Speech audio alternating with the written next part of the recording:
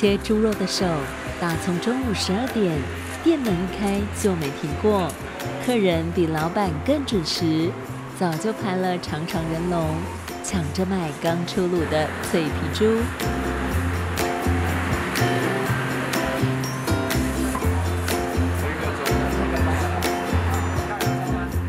小朋友被浓浓烤肉味吸引而来，爸爸妈妈似乎也抵挡不住这股香气诱惑。到底有多好吃？老饕是垂涎欲滴，等不及回家品尝，路边直接趁热吃了起来。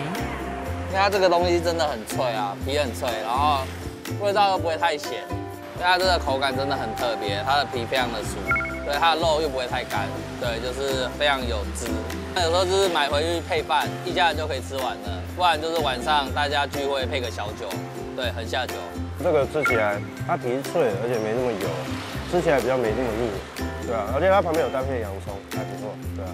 我们最早开始其实是因为自己想要吃，我们就说那我们来做这个产品试试看。我们在那边经商，然后我们在它街边其实就很多他们在新生脆皮五花肉，然后那时候我们自己买来吃，我们就觉得哎口味还不错，只是如果要把它带入台湾的时候，它的口感要稍微调整。表面拥有云朵皮，外酥内嫩，有层次的玻璃焦糖，每咬一口都能爆发清脆卡滋声。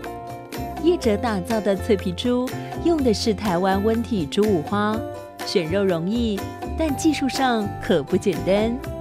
在克服风干，就是潮湿跟湿度跟温度的这部分，花了很多时间。因为台湾的天气气候因素跟大诶对岸的北方他们是偏干燥，那它其实这个肉的因素就是要先风干。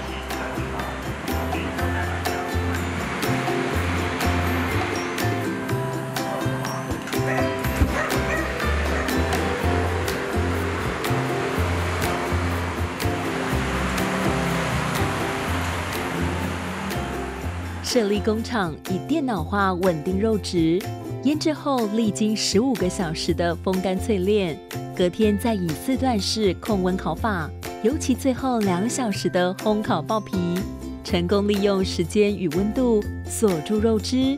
只是挑战还没结束，接下来还有口味这一关。想办法，我们用二十几种的新香料去把它调到变很柔和，所以吃起来口感的层次感会很多。对，我们请不同的中药行去调整这个原物料。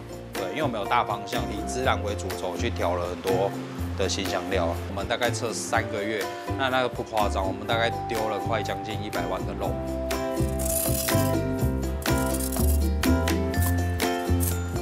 我们还有特别说出了梅粉跟辣粉，那我们其实辣粉再正确一点的名字叫椒麻香，因为我们的梅粉调到很细，然后我们的甜度也没有像那个沾水果的那种粉那么的甜，那它其实吃起来你会觉得很意外的搭。梅粉跟辣味，但是我喜欢加在一起的感觉，因为我喜欢吃酸酸甜甜的，但是它加辣之后，那我觉得口味更丰富一点。制作过程繁琐无比的脆皮猪，耗费将近一年，终于上市。业者现在网路试水温，没想到一试成主顾的人越来越多，脆皮猪意外爆红。只是让我们比较意外的是，哎，回购率很高。这个东西可以把它做成店面去试试看。那当初就几个好友，他们就来去，对，在市场这边去做了店面的部分。因为我们烤炉很耗时间，那一一炉其实也才三十条，花到一个半小时。那一开始其实，在市场就造成排队。因为朋友请我们吃，就觉得很好吃，那我就一直在找，也找不到，然后就刚好在对面买东西看到你们，很棒。藏在传统市场里的美味新料理，婆婆妈妈也圈了粉。脆皮猪走出网路，走进人群，慢慢衍生出一间间实体店面。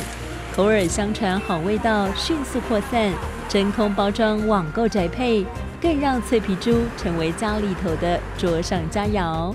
我们会最建议用气炸锅，因为气炸锅可以比较还原到刚出炉的口感。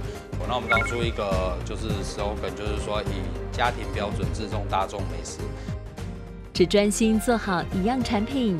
业者的初衷很简单，一份能亲子共享的料理，无论是身为主菜或配菜，只盼这份脆皮猪都能让每个人吃得很有记忆点，很有温度。